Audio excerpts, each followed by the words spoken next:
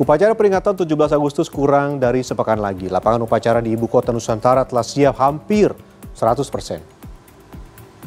Presiden Republik Indonesia Joko Widodo optimistis bahwa upacara peringatan Hari Kemerdekaan ke-79 Republik Indonesia akan dapat digelar di Ibu Kota Nusantara IKN pada 17 Agustus 2024.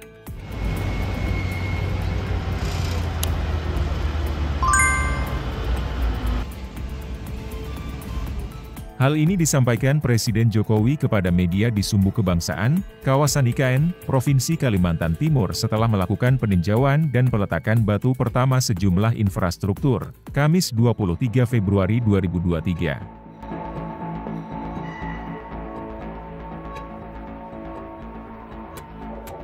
Presiden Jokowi menyampaikan bahwa pembangunan IKN terus menunjukkan hasil yang baik dengan semakin banyaknya investasi yang masuk.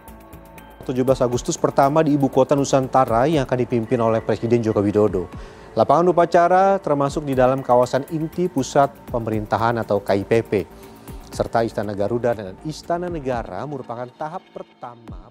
Salah satunya adalah Hotel Jambuluk Nusantara yang pembangunannya dimulai dengan peletakan batu pertama oleh Presiden Jokowi. Kami telah melakukan peletakan batu pertama Hotel Jambuluk, ini adalah hotel dan resort ke-6 yang kami harapkan dapat segera diselesaikan, kata Presiden Jokowi.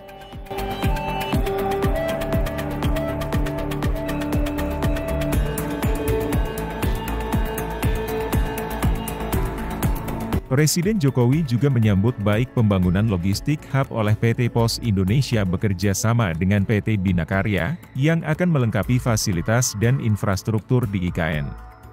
Urusan logistik sekarang sudah ada yang menanganinya, yaitu Pos Indonesia dan Binakarya, jelas Presiden Jokowi. 5% lebih, ya. Di dalam, di bagian dalam itu sedang finishing interior, ya, perapihan, kemudian penanaman dan sebagainya. Sedang uh, uji pengu, uh, pengujian semua fungsi-fungsi listrik, internet, as Tambahan fasilitas ini akan meningkatkan akomodasi bagi tamu yang berkunjung ke DKN, tambahnya. Kepala Otorita Ibu Kota Nusantara OIKN, Bambang Susantono, memastikan bahwa sebanyak 200 kamar hotel siap digunakan pada 17 Agustus 2024, dengan dua hotel siap pakai saat upacara.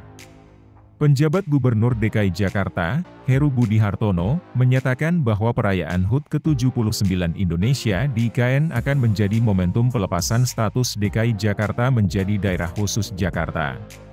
Beberapa mobil listrik dan juga bis listrik yang sudah standby.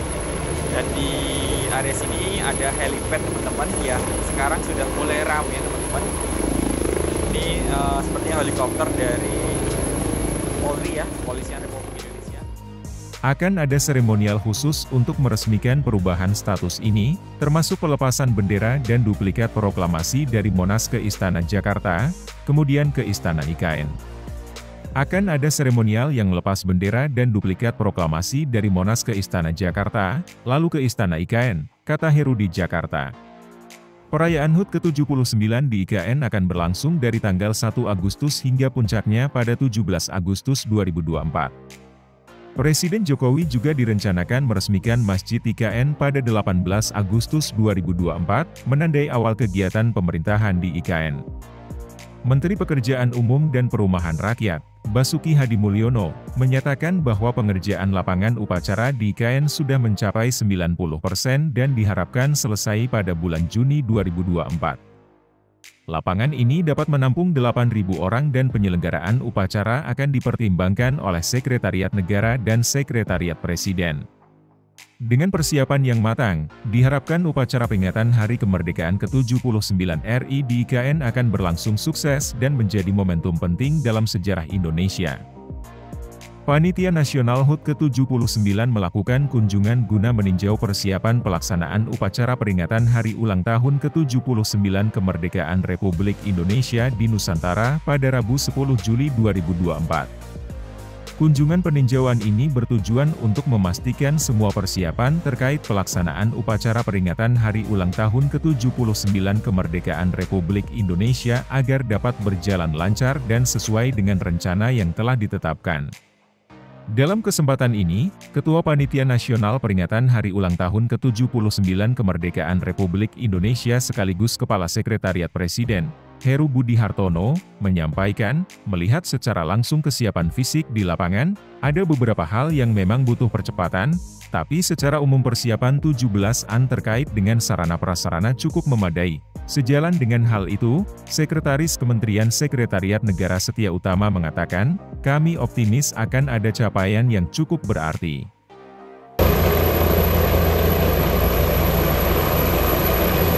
Sehingga ketika nanti kita melaksanakan peringatan kemerdekaan di Nusantara, semua sudah siap digunakan. Persiapan yang komprehensif dan kolaboratif dengan berbagai instansi terkait yang telah berjalan dengan baik selama ini akan mendukung tahapan penyelesaian infrastruktur terkait HUT RI di Nusantara. Sehingga seluruh rangkaian acara upacara diharapkan dapat menciptakan suasana yang hikmat dan membanggakan bagi seluruh rakyat Indonesia dan menjadi momentum bagi seluruh lapisan masyarakat dalam memaknai hari kemerdekaan. Hal ini kami lakukan secara berkala untuk memastikan bahwa seluruh aspek baik sarana dan prasarana serta hal-hal terkait lainnya akan terorganisasikan dan terwujud dengan baik. Kami optimis bahwa penyelenggaraan upacara peringatan Hari Ulang Tahun ke-79 Kemerdekaan Republik Indonesia di IKN akan berlangsung dengan hikmat, baik dan berjalan lancar. Mohon doa dan dukungan dari semua anggota masyarakat untuk perhelatan bersejarah ini, ungkas Sekretaris OIKN Ahmad Jaka Santos Adiwijaya.